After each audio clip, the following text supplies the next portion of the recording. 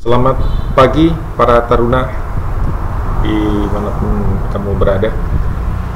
Eh, pada hari yang berbahagia ini, saya akan menyampaikan tentang materi pembelajaran yaitu ilmu pelayanan datar di pada bagian bab 1. Pada beberapa yang lalu saya sudah menyampaikan tentang peta dan sebagainya ada beberapa poin ya peta nyangkut dengan masalah eh, jenis-jenis peta dan sebagainya ya. Nah dalam ilmu pelayaran data ini untuk sebuah saya ulangi untuk pelayaran sebuah kapal dari tempat tolak ke tempat tujuan dengan aman dan efisien itu dipergunakan bermacam-macam pengetahuan navigasi di mana salah satunya di antaranya dikenal dengan nama ilmu pelayaran ilmu pelayaran atau navigasi ialah ilmu yang mengajarkan kepada kita bagaimana cara membawa kapal dari suatu tempat tolak ke tempat lain dengan aman, praktis dan ekonomis ya. Jadi adapun navigasi itu sendiri dalam prakteknya terdapat empat jenis yaitu navigasi duga yang pertama di mana penentuan posisi kapal di atas peta laut ditentukan berdasarkan haluan dan kecepatan kapal. Ingat ya, jadi posisi duga itu didasarkan pada haluan dan kecepatan kapal. Yang kedua, pelayaran menyusur pantai, di mana penentuan posisi kapal di atas peta laut ditentukan dengan cara membaring benda duniawi. Biasanya itu berupa pulau, tanjung, suar, dan lain-lain sebagainya.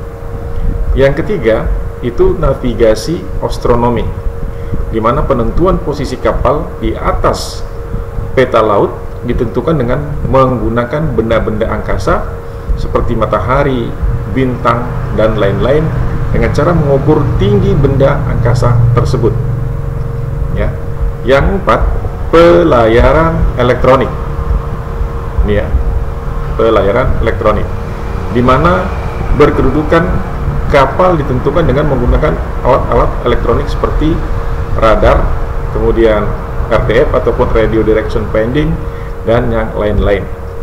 Biasanya itu yang lain-lain itu bisa berupa GPS, kemudian eh, AIS daripada itu kapal sendiri ya, automatic identification system. Ya. Di, ya jadi diingat yang lupa ya bahwa eh, navigasi itu sendiri di dalam prakteknya terdapat ada empat jenis yaitu dengan navigasi duga, kemudian ada navigasi pelayaran e, menyusuri pantai, kemudian navigasi astronomi, dan selanjutnya adalah pelayaran e, elektronik. Ya, ingat ya.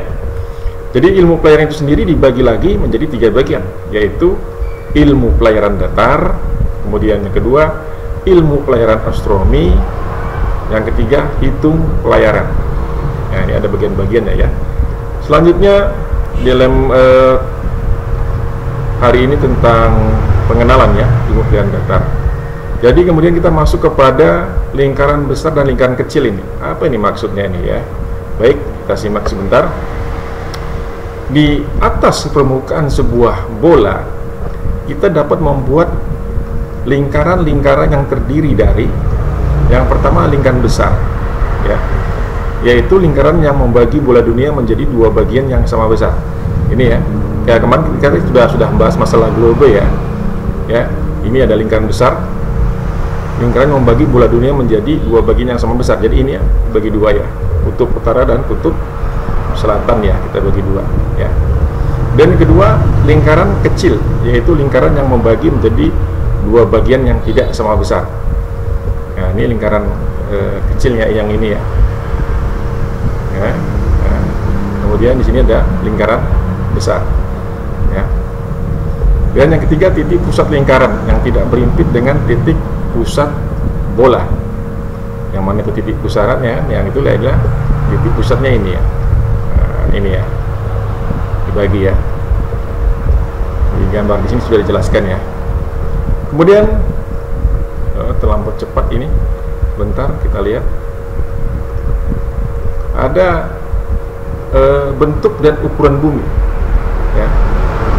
Bumi di mana kita berada ini merupakan suatu benda yang bergerak bebas di ruang angkasa yang mengitari matahari. Ingat ya, jadi uh, uh, epicentrum ataupun pusat tata surya adalah di matahari. Dia tidak bergerak kalau matahari itu ya. Kalau bumi yang bergerak melihat matahari ya. Dan berbentuk seperti bola. Di samping beredar melilingi matahari, bumi juga berputar pada porosnya. Satu kali putaran dalam jangka waktu 23 jam 56 menit 4 detik. Kalau kalau kita perhitung 24 jam lah kurang lebih seperti itu. Dari barat sampai ke timur. Jadi eh, bumi itu berputar pada porosnya kurang lebih 24 jam ya. 24 jam dari barat sampai ke timur. Sehingga semua benda seakan-akan terbit dari timur dan terbenam di barat.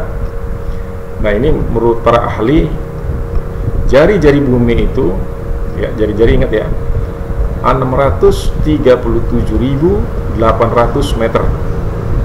Saya jari-jari bumi 637.800 meter.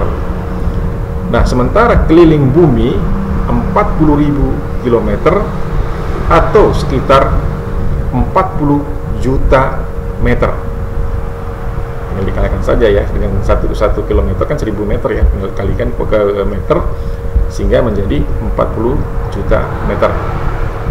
Bukti-bukti bahwa bumi berbentuk seperti bola sebagai berikut. Yang pertama, apabila kita mendekati suatu benda, contoh narasuar, kapal, dan lain-lain, maka nampak lebih dulu ialah bagian atasnya. Maksudnya tiangnya itu lebih dulu ya.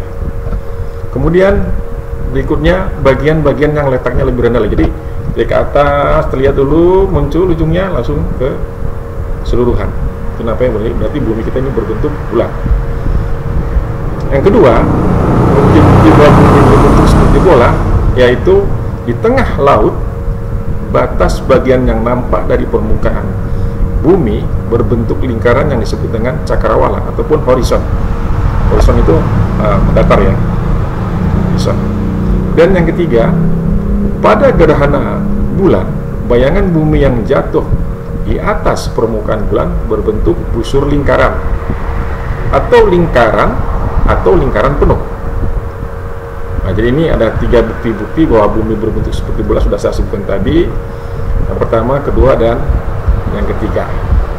Jadi itu saja dulu supaya ini bisa dipahami ya tentang eh, pendahuluan daripada ilmu pelayan datar datar. Kalau kemarin saya ngajarkan tentang peta ya ke pemahaman tentang peta dulu. Yang eh, lanjut kita lanjut kepada ilmu pelayan datar sebagai eh, awal mula materi pembelajaran hari ini. Demikian yang bisa saya sampaikan. Semoga ini bermanfaat. Walaupun secara singkat. Eh, sampai ketemu lagi di lain kesempatan. Assalamualaikum warahmatullahi wabarakatuh